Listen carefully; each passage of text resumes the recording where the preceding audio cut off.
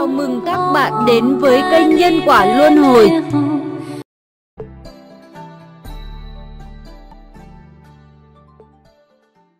Trần Đại Gia Ông Trần là người thông minh tài giỏi, tướng mạo tuấn tú, con nhà phú quý, tính tình phóng khoáng, ăn nói rất có duyên, thu hút. Lúc ông làm việc, người ta cả tháng mới bán được một hai sản phẩm, còn ông thì hàng ngày có thể bán tới 7-8 bộ sản phẩm. Ông rất có tài chào hàng, là bậc kỳ tài trong giới kinh doanh. Thế nhưng ông lại có một tật xấu là rất ưa chuyện mây mưa trăng gió, thường tìm kỹ nữ mua vui. Ông kể đã truy hoang với rất nhiều cô. Tôi là đồng nghiệp, thường cố gắng thuyết Phật Pháp khuyên can ông.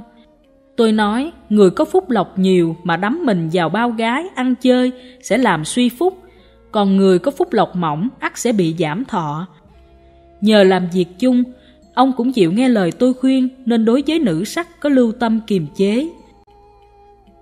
Sau này ông dời đến nơi khác, cùng bạn bè hùng hạp mở tiệm, giao du toàn những người hiếu sắc, ăn chơi, nên chẳng bao lâu lại đắm chìm trong sa đọa phóng túng.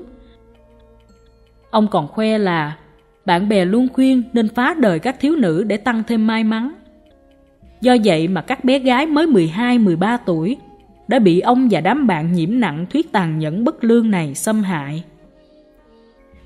Tôi nghe xong rất buồn, dội khuyên ông dừng lại và giải thích rằng hành vi này không phải là việc xả xuôi giúp phát tài hay tăng đại may mắn, mà chỉ càng quỷ hoại phúc lộc quyền và khiến bản thân ông đoạn thọ, tuyệt đối chẳng nên tin theo tà thuyết này.